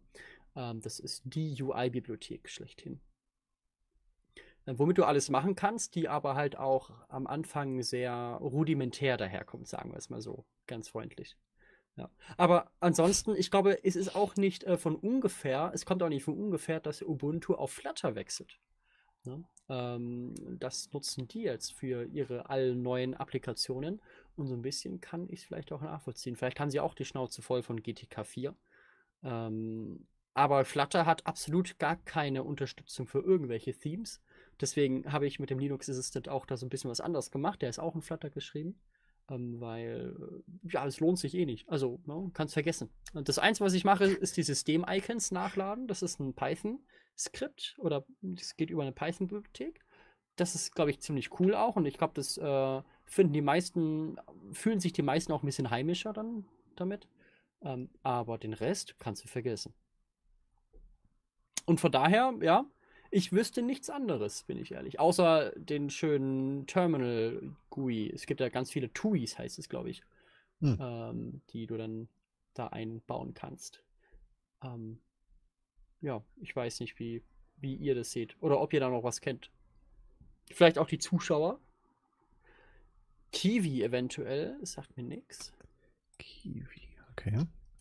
Also dieses FLTK, was ich da meinte, das äh, wird seit 21 wohl nicht mehr wirklich weiterentwickelt. Mhm. Also Kivy ist Open Source, Python App Development Framework. Ansonsten natürlich ganz klar HTML, CSS mit JavaScript. Das ist ja auch viel häufiger im Kommen, als man denkt. Also wie viele Anwendungen wir mittlerweile, also wie auch ich teilweise nutze, die nur in HTML und CSS und so weiter geschrieben sind. Also das ist schon äh, beträchtlich. Hier Signal beispielsweise, ähm, Visual Studio Code. Gut, ich habe Spotify noch sowas in die Richtung. Ne? Ähm, das ist jetzt nur das, was in meiner Leiste angeheftet ist. Ne? Das ist schon, ich glaube, oder Element beispielsweise. Ne? Ähm, da gibt es schon viel, was dann nur in HTML, CSS geschrieben ist. Und so ein bisschen verstehen kann ich es, bin ich ehrlich. Also, ne? Weil äh, vor allen Dingen ähm, dadurch wird ja die Unterstützung für mehrere Plattformen ja viel einfacher. Und ähm, aber für die Linux-Systemanwendungen ist es natürlich vielleicht nicht die beste Option. Wobei ich meine, Just ähm, habe ich gehört, die wollen auch auf eine HTML, CSS ähm, also auf, so, auf eine Web-App gehen tatsächlich langfristig. Da soll was kommen. Bin ich mal gespannt. Interessant, ja. Wenn wir dann sehen. Ähm, noch ein Tipp äh, aus einem der drei Chats. Äh, Eist, äh, also wie, wie gefroren, äh, GUI gibt es auch noch, ist eine Bibliothek für Rust. Ah, Boah, gut, also macht Sinn, wenn der Do äh, Cosmic Desktop darauf aus aufbaut und der wird ja auf Rust gebaut. Ja. Sehen wir direkt auch in der Showcase-Seite, direkt auf Iced, als erstes Cosmic Desktop Environment. Ja, gut, ist ja so ein Pionierprojekt, auch sagen. Ich denke, Rust ist auch ein sehr, sehr cooles Ding mhm. an sich. Ähm, für die Leute, die programmieren.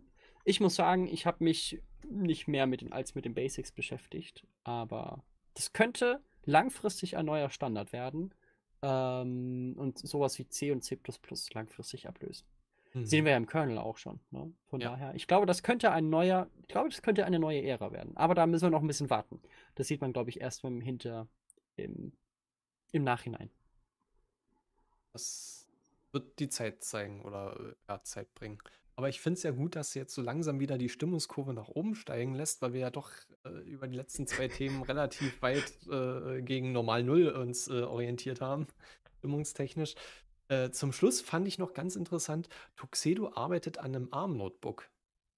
Und ich glaube, noch kein großer anderer ähm, Linux-Hardware-Hersteller macht das, weil System 76, Cosmic Desktop, Pop OS, die sind halt mit dem Cosmic Desktop beschäftigt und haben da, glaube ich, gar nicht so die, ähm, ja, die Ressourcen, um das jetzt zu machen. Und ansonsten die anderen, die man so kennt, benutzen eigentlich auch nur das, was da ist. Also das äh, finde ich dann schon wieder, äh, da sieht man mal die Schere, wie sie in Deutschland ist. Also die Infrastruktur ist irgendwie ein äh, bisschen komisch, aber die Pionierarbeit wird dann auch bei uns gemacht. Irgendwie, hm, Schon schön.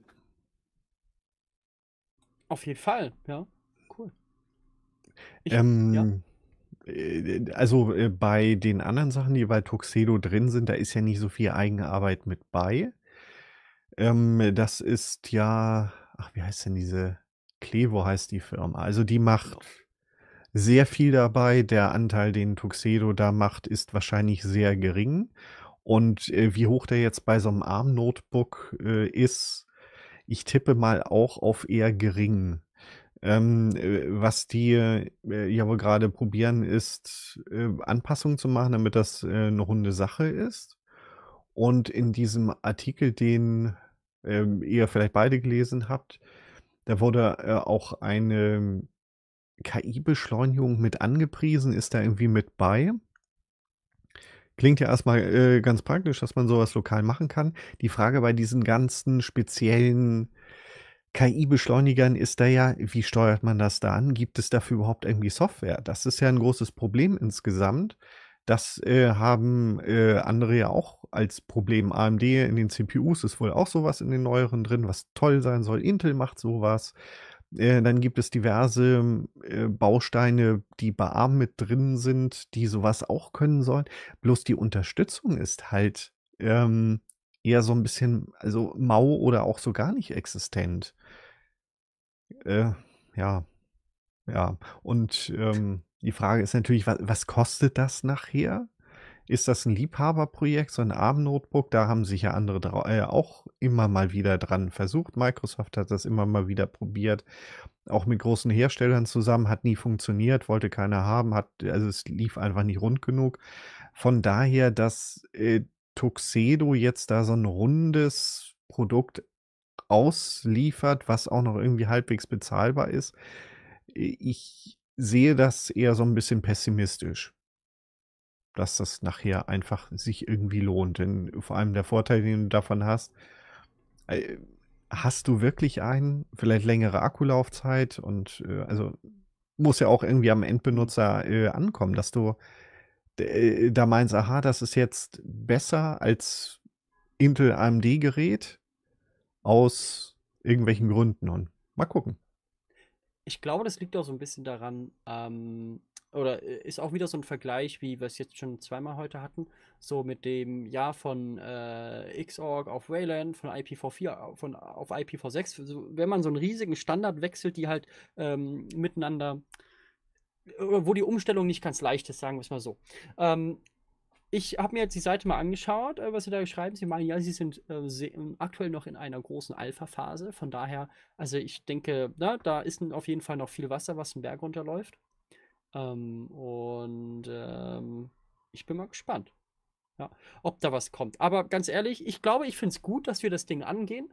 Und äh, so langsam haben wir ja 32 Bit beerdigt und ich habe das Gefühl, dass wir ja AMD 64 dann auch irgendwann beerdigen werden, weil es ist schon energieeffizienter und was ich auch meine mal gehört zu haben, ist, dass einfach durch die Monopolstellung einfach gar keine andere Architekturen weiterentwickelt wurden oder irgendwie groß äh, an den Mann gebracht wurden, jedenfalls im Endconsumer-Bereich, ähm, wodurch äh, sich dieses ähm, 64 oder dieses AMD 64 sich so ähm, ausgebreitet hat, obwohl es doch AMD technisch schon, ich glaube, noch weitere was einfach viel effizienter an manchen Stellen ist. Ich glaube, du hast auch viel größeren Befehlssatz, meine ich, oder auf jeden Fall einen ganz, ganz anderen. Und ähm, ich denke, da kann auf jeden Fall noch Cooles kommen. Aber diese Umstellung jetzt, die wird hart. Ähm, Microsoft geht das ja jetzt an. Genau, das war ja auch ganz groß hier bei der Microsoft-Konferenz vor ein paar Wochen. Microsoft Build hieß die, glaube ich. Und äh, die gehen jetzt den ähnlichen Schritt wie Mac oder wie die MacBooks vor vielleicht drei, vier Jahren mit ihren ARM-Chips. Ich glaube, ähm, M1, M2, M4 und so weiter heißen die ja. Und ich glaube, das wird auch nach und nach auf Linux rüberschwappen und wir werden uns damit immer mehr beschäftigen. Und da muss man sagen, ist Debian wahrscheinlich schon aktuell eine der wenigen Distros, die da weit voran sind, auf jeden Fall. Vor allem, weil sie ja immer schon solche anderen Architekturen einfach ganz gut unterstützen. Ja, ja ich glaube, jetzt habe ich euch tot, äh, tot Palaver. Das ist doch auch schön, ne? Also von daher. Nee, ich, man muss ja erstmal verarbeiten, was du jetzt alles äh, gesagt hast. Aber ja, gebe ich, geb ich dir auf jeden Fall recht. Erstmal muss irgendjemand Pionierarbeit irgendwo leisten. Bei mobilen Geräten war es nun mal ähm, Apple, die einfach durch ihre Monopolstellung kann man jetzt nicht sagen, aber monopolistische äh, Arbeitsweise einfach gesagt haben, wir machen jetzt ARM. Wir stecken da jetzt alles rein. Wir können es aber auch, weil wir die einzigen sind, die äh, wirklich Einblick ins Betriebssystem haben. Und was ist rausgekommen? Eine ähm, sehr energieeffiziente und deutlich leistungsfähige äh, CPU als äh, jetzt äh, vergleichsweise x86 Hardware. Und ja, ich hoffe, dass Tuxedo sich da nicht äh, entmutigen lässt, dass da auch irgendwo Anklang und, und ja, enthusi enthusiastische Tester irgendwo äh, da sind, die sich dann für ein ARM-Notebook entscheiden, weil es wird garantiert irgendwo ein paar ja, Stolpersteine geben. Aber wenn die beseitigt sind, ist das, glaube ich, wirklich wichtige Pionierarbeit, die die Zukunft definieren wird. Ähm, dann noch ein bisschen Klugscheißerei am Rande. Also, äh, von wegen ARM ist, äh, RISC, also Reduced Instruction Set Computer. Also, die haben, äh, weniger verschiedene Befehle als, äh, die anderen. Das Gegen äh, Gegenteil ist, äh, CISC, äh, Complex Instruction Set Computer. Ähm, ja, und, ähm, äh ARM ist ja schon relativ weit verbreitet. Und die, ähm, Energieeffizienz, äh, die ergibt sich ja übrig äh, üblicherweise daraus, dass man nicht so viele Hochleistungsberechnungen drauf macht. Ähm, es gibt ja auch die also das andere Stück, diese, äh, Am Ampere, äh, großen CPU-Dinger für die Rechenzentren, die auf ARM-Basis sind. Also, die verbrauchen auch nicht gerade wenig und, ähm ich glaube, das stimmt immer noch. Äh, gelesen habe ich, dass äh, das insgesamt von der Energieeffizienz nicht wirklich äh, besser ist als x86, wenn du in diese Leistungsbereiche gehst. Das sieht man ja auch an den Raspberry Pis. Also die, die hochgezüchteten äh, Dinger da, die verbrauchen halt auch deutlich mehr. Also der Fünfer, der äh, zieht jetzt ja schon relativ viel im Gegensatz zu dem ersten oder zu dem Zero. Also es kommt darauf an, was du damit vorhast. Also von, von bis. Das tut sich wohl nicht wirklich was. Und, äh, insgesamt interessant äh, interessanter finde ich eigentlich eher, äh, RISC-V als wirklich, ähm, offenes System, ähm, im Gegensatz zu ARM. Das gehört der Firma ARM letztendlich. Die verkaufen auch Lizenzen. Also, Apple hat ja auch so eine Lizenz gekauft, damit sie das machen dürfen. Aber wirklich frei ist eigentlich bloß, äh, RISC-V. Und da diese Produkte, die da kommen oder, äh, zum Teil auch schon wirklich da sind, finde ich interessanter. Denn ob das jetzt ARM ist, AMD, Intel oder was weiß ich, das ist, ähm, das das schließen die ja doch wieder weg. Ne, also von daher. Und, äh, in dem RISC-V-Bereich, ähm, äh, da gibt es auch schon eine relativ große Palette, also vom Microcontroller bis zum naja, es ist natürlich äh, noch nicht, äh, so wirklich schnell, aber, äh, da gibt es wohl auch, so ein kleines Notebook schon. Ja, aber finde ich finde ich spannender als nochmal dasselbe, was wir eigentlich schon, ewig lange kennen in in neuen Aufguss und wahrscheinlich doch sehr, sehr teuer.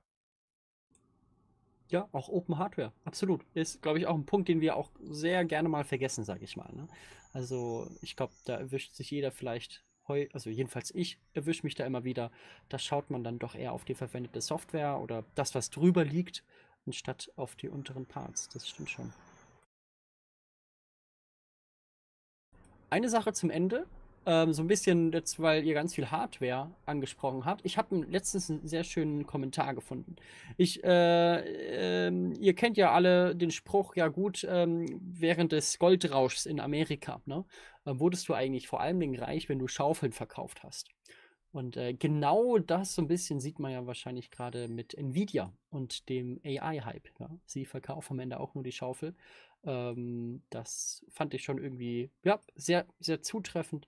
Beispielsweise dadurch, dass ich gerade sehr viel mit High-Performance-Computing auch zu tun habe, ähm, gibt es so ein Projekt, eigentlich ein ziemlich cooles Projekt für mich als Bayer, die Bayern-KI wird gerade tatsächlich äh, aufgestellt und da ist äh, Erlangen, also äh, da, wo ich studiere, äh, auch ganz, ganz groß mit dabei. Die bekommen eine Menge Geld, wo sie jetzt erstmal richtig schön shoppen gehen dürfen.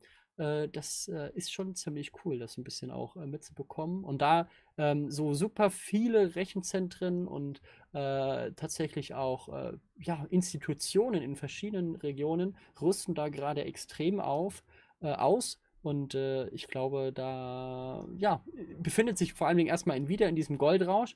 Ähm, und ich glaube, langfristig werden wir da noch viel, viel, viel mehr Punkte sehen und Projekte sehen, wo sich KI noch viel, viel größer durchsetzt und tatsächlich auch in Richtung äh, freie Entwicklung jedenfalls, ähm, dass da doch noch einiges kommen wird. Und da haben wir schon gute positive Beispiele wie Lama 3 unter anderem äh, von Meta, die da den Open Source Weg gehen und ähm, von daher, ich glaube, wird das zukunftstechnisch schon auch ganz cool in der Zukunft. So, ich glaube jetzt, jetzt bin ich durch. Wird ganz cool in der Zukunft. Damit können wir abschließen, würde ich mal behaupten. In, in der Zu genau, zukunftstechnisch wird es in der Zukunft wirklich gut, ja? ja. Dieser Text wurde von einer KI generiert. Die Jean-KI. JI, genau. Ja, genau so ist es.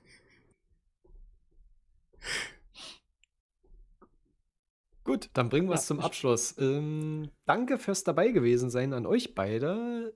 Jeden einzelnen live dabei gewesen seinen bei Twitch, YouTube oder bei äh, Linux Guides Live. Linux. Und natürlich auch danke für jeden, der sich das dann nochmal später bei YouTube anschaut oder bei Spotify hört. Macht's jo, gut. Genau. Ciao. Macht's gut und ähm, Jetzt haben wir noch diese Nachlaufzeit, nicht?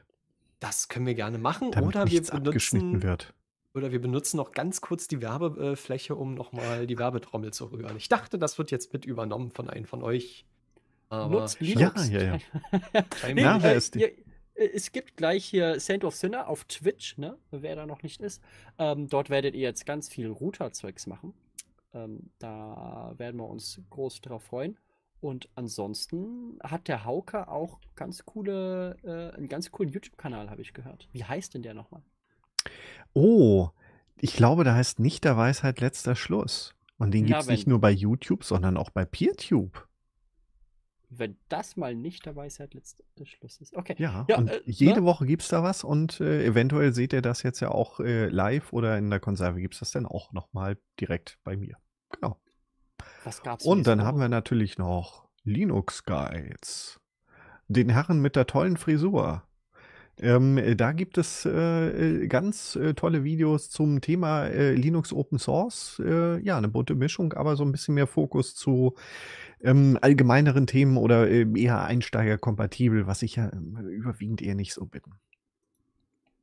Ja, also so. schaut gerne vorbei. Und ansonsten ganz äh, viel äh, Werbung nochmal fürs Forum von Linux Guides. Wir sind gerade kurz vor den 2000 Mitgliedern.